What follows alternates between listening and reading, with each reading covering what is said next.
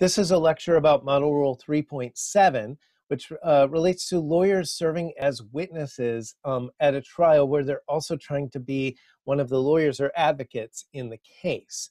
Um, by the way, this is a shorter rule with less provisions, and I'm hoping it'll be uh, a shorter video. Uh, but we do need to cover it, and it is tested sometimes on the MPRE. It, it's a pretty straightforward rule. It's not one of the really complicated ones, uh, which is good news, and I think it should be easy to remember.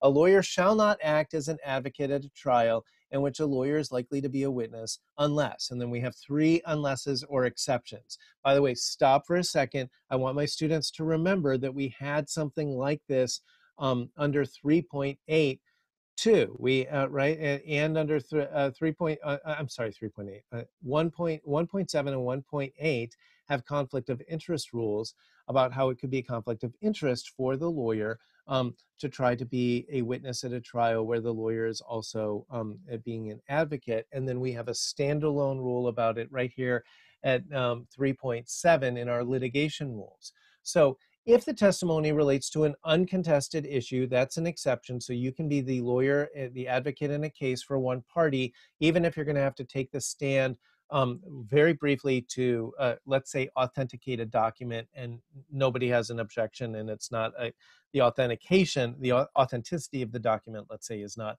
in question.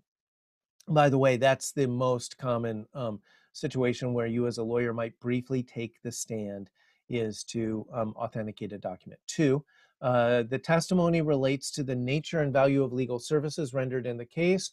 Or three, uh, disqualification of the lawyer would work uh, substantial hardship on the client. And so, two, you keep uh, keep in mind if we're um, either this could be one of two cases, um, you're suing a client for unpaid fees, or the client is somehow suing you, saying they shouldn't have to pay you because you committed malpractice or were such a terrible lawyer, or this could be a case where you, the prevailing party, can seek attorney's fees from the um, losing party, either in some sorts of civil actions. Sometimes there's statutory attorney's fees um, in civil rights cases, and so forth. So, and what we do is after the trial is over in those cases, is we have a separate hearing about the lawyer's fees.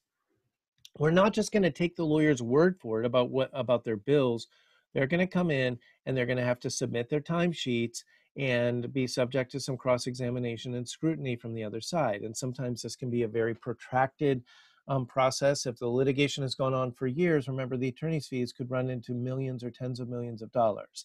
Um, if it's a simple case, it could just be a few thousand dollars uh, that we're talking about. Um, and um, but obviously, you're going to have to take the stand. I worked in legal aid um, after law school, and we didn't even charge our clients. And I had to take the stand and, and testify about the time I worked on a case at one point um, because there was a, um, a, a procedural. Uh, the other side had had done a maneuver that uh, in the litigation, and was not the prevailing party that allowed um, our client to ask for attorney's fees, um, uh, uh, basically because of what the other side had done in the case. And and uh, we got attorney's fees even though I my client, even though I was a free lawyer as a legal aid lawyer.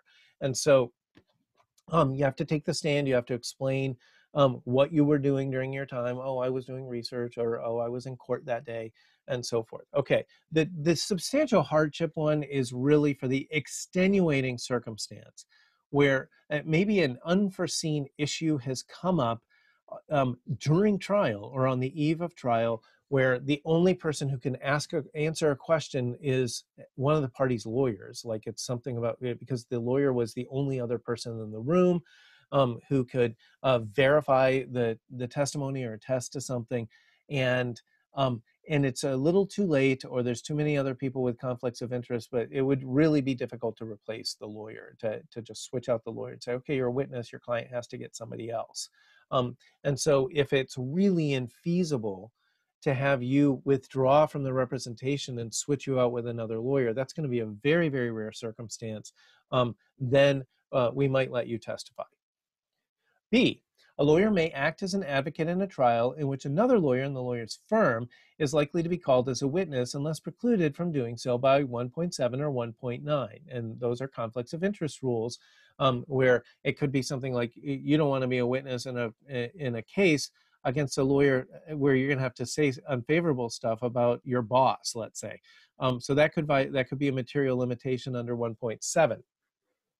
Um, Uh, but generally, keep in mind that if you're working on a case and it turns out that you are actually going to have to take the stand and explain something as part of the case, another lawyer from your office can take over the case. And please note that this is different than a lot of our conflicts of interest rules where we would disqualify the whole firm or are talking to the media rule, the, the last rule we did 3.6, where you're not allowed to talk to the media and nobody in your firm is allowed to talk to the media about certain things when there's a case pending.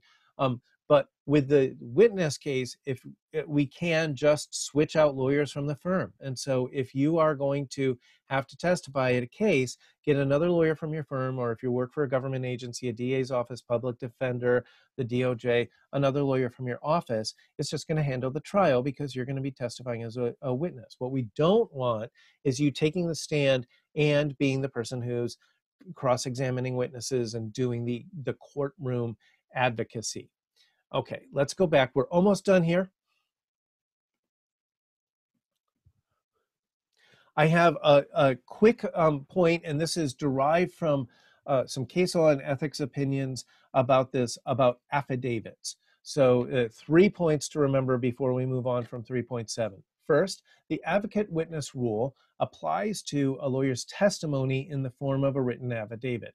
And so you can't get around this rule just by submitting what you were going to say as an affidavit instead and having it be accepted as, as evidence that that's the equivalent of you taking the stand. And so if you're going to submit an affidavit that's going to be relevant and material testimony and it's a contested issue, you still can't be the lawyer of the case. Number two, not all affidavits filed by a lawyer implicate this rule. And three, whether 3.7 is implicated depends on the affidavit's content. So here, it, I'm making this video in Texas. In Texas, for certain types of civil um, uh, pleadings, uh, the lawyer eh, attaches sort of a boilerplate affidavit um, to pleadings when they're filed, attesting to the veracity of the statements and, and, the, and the good faith and making the claims and stuff like that. And so this is like standard verbiage that's just tacked on to pleadings when you file it at the end. That's the lawyer's sort of certification or attestation. And that is, in theory, an affidavit. And that is not what we're talking about because that's not one of the contested issues in the case or um, uh, material evidence in the case. Um, there's and then so that's an easy one this that does not implicate this rule and then we have some things that are a little bit in the middle um, uh, where it could be a you will have to look at the rules of your per, uh, jurisdiction about whether this type of affidavit from the lawyer um, uh, would count. And so, for example, an affidavit about your uh, verifying your attorney's fees in the case or something like that. Look at the rules of your local jurisdiction. Okay, that concludes our um, lecture about rules.